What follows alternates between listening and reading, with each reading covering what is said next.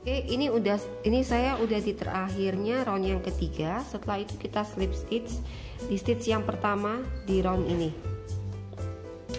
Kita slip stitch.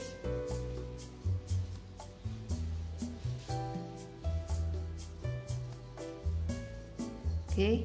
Kemudian di sini kita slip stitch terus di setiap stitchnya ini satu. Ngambil yang di front loopnya aja seperti ini. Ini kita muter ya sampai kita ketemu di sini. Slip stitch terus hanya di front loop. Oke guys ini setelah kita selesai di round yang keempat kita slip stitch semua di sini. Selanjutnya kita ini ganti ke warna yang kulit ini. Di sini kita bikin satu single crochet di setiap stitchnya tapi kita ambil ke ini yang di sini apa di stitch yang uh, di round yang ketiga. Jadi kita ambil di round yang ketiga ini yang di back loopnya. Karena di front loopnya kita buat single crochet uh, kita buat slip stitch. Sekarang kita buat single crochetnya di sini. Jadi ini kita lanjutin aja. Keluarkan dulu. Satu chain. Kemudian kita bikin single crochet di back loopnya aja di black back loopnya round yang ketiga tadi. Guys ini saya di terakhir di round yang ke 5 setelah itu kita bikin kita slip stitch di stitch yang pertama yang kita buat di round yang kelima ini. Seperti itu. Kemudian kita bikin satu chain kita lanjut lagi di seputaran ini satu single crochet di setiap stitchnya. Nanti kita akan beroleh um, sama jumlahnya 18 stitch Oke guys ini kita lanjut lagi ya.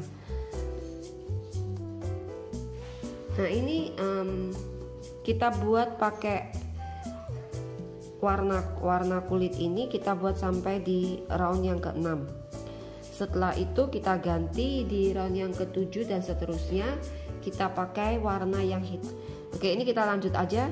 Sampai di round yang ke-6 ini selesai nanti kita ketemu lagi di round yang ke-7 Nah ini untuk mau ganti ini saya udah di round yang terakhir di putaran di stitch yang terakhir di round yang ketujuh eh di round yang keenam terakhir. Ini sekarang kita masukkan jarum hook kita ke sini ke loop dua loop seperti ini. Terus kita tarik dengan yang warna hitam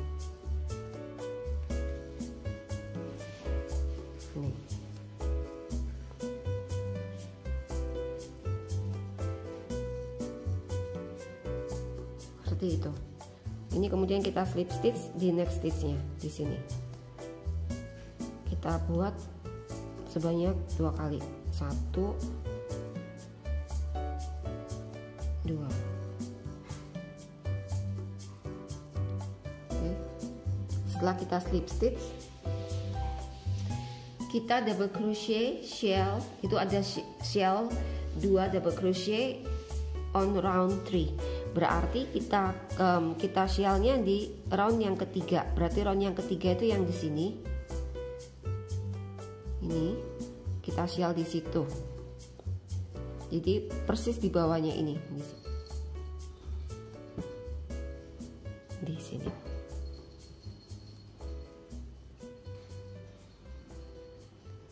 kita bikin double crochet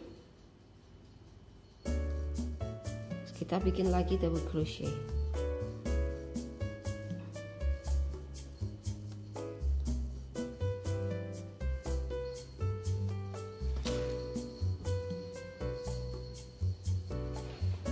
Setelah itu ini tadi yang dua apa dua chain ini dua stitch ini kita beranggapan bahwa sudah kita buat dua double crochet.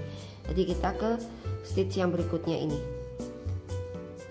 Oke di sini ini kita bikin slip stitch lagi. Kita bikin tiga kali eh tujuh kali slip stitch. Ini satu dua enam tujuh. Oke setelah tujuh kali slip stitch di sini kita buat lagi double crochet di round uh, kita bikin shell double crochet di round yang ketiga. Di sini. Ini ya. Kita masukkan di sini.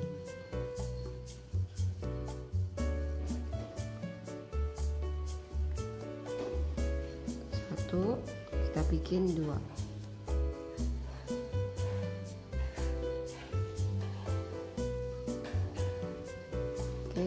kemudian di sini kita slip stitch lagi. Ini dua stitch ini kita buat tadi um, shell ini. Dua double crochet jadi kita ke sini. Ke stitch yang ketiganya dari yang ini yang sudah yang sudah dibuat. Ini kita bikin sebanyak tiga slip stitch. Eh enggak. Kita buat sebanyak ya tiga. Satu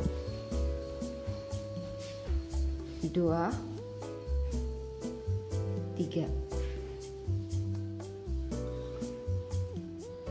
Ini kita buat sebanyak tiga slip stitch.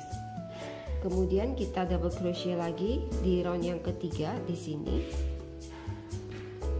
Kita bikin double crochet satu kali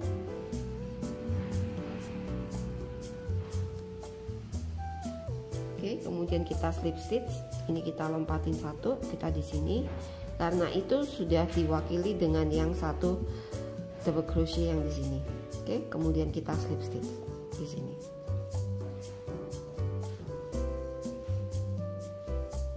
Ya udah, ini aja.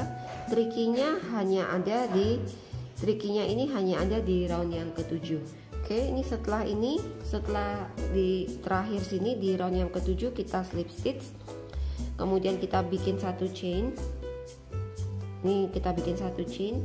Terus kita bikin single crochet di back loopnya aja. Ini kita buat di setiap stitchnya. Jadi kita nanti di sini dapetin ada 18 single crochet sudah dua ini yang ketiga oke ini kita buat terus hanya di round yang ke 8 ini kita buat di back loop nanti di next next roundnya itu ini jangan lupa tandanya. Nanti di next roundnya itu uh, kita bikin seperti biasa jadi kita buat uh, di dua loops. Oke jadi cuman hanya di round yang ke-8 ini aja yang kita pakai di back loop Oke guys, ini saya udah di round yang ke-16 sudah selesai. Kita buat dua seperti ini kiri dan kanan. Yang satu ini kita put putus benangnya, yang satu ini kita masih sambung ya. Jadi kita buat ini kita teruskan yang masih ada jarumnya apa ada benangnya di sini. Kita buat di sini 5 single crochet. satu dua. Tiga. Empat. Lima. Kita buat 5 single crochet itu sejajar dari dengan ini ya. Ini yang kita buat tadi yang shell ini. Kita sejajarkan di atas. Kemudian ini kita buat dua chain. Oke. Kita taruh sebentar. Sekarang kita ke sebelah satunya ini kita ke sini. Jadi kan sejajar dengan yang ini. Terusannya dari dua single crochet ini. Kita cuma eyeballing aja berarti ada sekitar sini ya. Ini kita tarik. Kita masukkan hook kita seperti ini. Kemudian ini kita tarik aja. Setelah dua single crochet kita tarik ke sini. Oke kita buat satu chain setelah itu ini udah sambung. Setelah itu kita single crochet di stitch berikutnya. Ini kita buat single crochet. Sama jumlahnya ada 18 ini kita buat terus sampai muter ke sini. Jadi nanti ini di round yang ke-17 kita dapetin ada 40 stitch. Oke jadi cuman tinggal ini um, ini coretan saya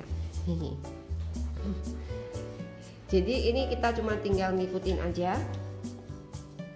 Selanjutnya di sini kita buat satu single crochet di setiap stitchnya ini. Satu dua. Jadi ini kita masih tetap pakai warna hitam sampai tiga round lagi. Oke okay guys